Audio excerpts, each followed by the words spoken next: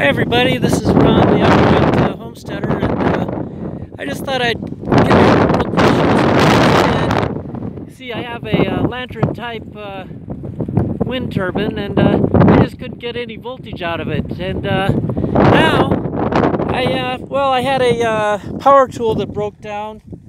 See this, and this, so I just used the battery off here. The battery's still good. I tested it. It was down to about four volts. It's down about four volts.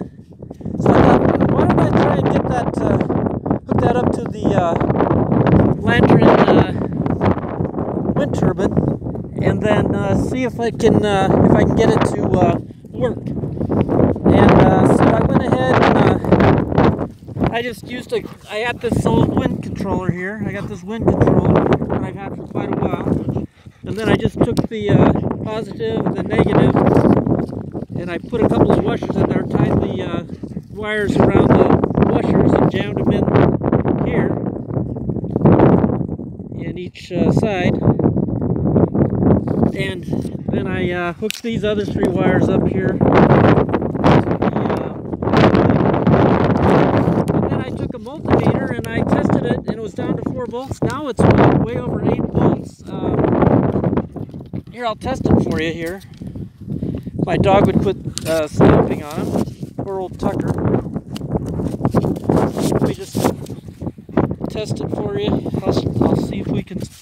So I'll show you. Uh, I'm just, uh, you have to take my word on it that it was at 4 previously. It was at Four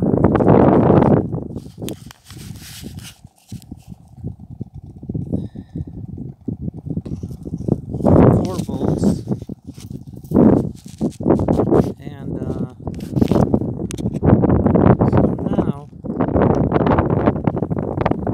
so it's way off the map now. It's it's way past this. I've got it. Uh, it can go up to 10 volts, so it's way over 12 volts now, as you can see. So that's pretty darn good. So uh,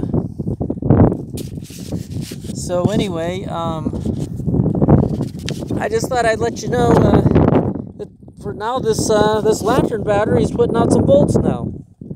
And all I did is I hooked that lithium power battery up to it and it's charging it. Amazing. Well, you guys have a great day now. Be careful.